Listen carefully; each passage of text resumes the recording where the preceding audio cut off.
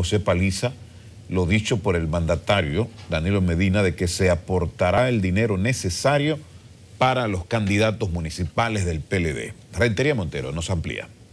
Sí, que queremos agradecer.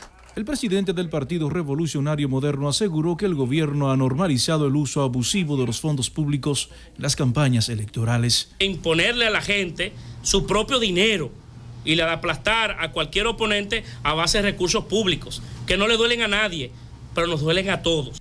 De ahí las críticas a la Junta Central Electoral que a decir del dirigente político observa poco interés de encarar la situación que coloca en desventaja a los competidores opositores. Nosotros tenemos casi la certeza de que el candidato oficialista en el proceso de la precampaña violó los topes de campaña.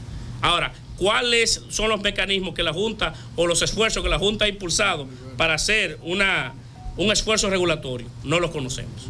Paliza se mostró confiado de que pese el esfuerzo del oficialista PLD de imponer sus candidatos sobre la base del dinero, prevalecerá la voluntad popular. Anteriormente, en gobiernos que lo han tenido todo han sido vencidos. Y aquí en República Dominicana, en febrero y en mayo, el cambio se producirá. El presidente del principal partido opositor juramentó a más de 90 dirigentes del Partido Revolucionario Dominicano de las provincias Montecristi y Samaná.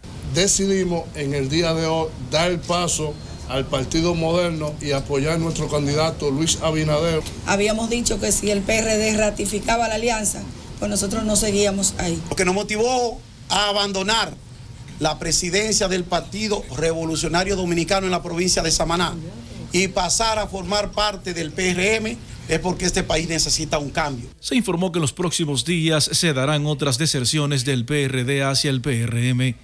Rentería Montero, CDN.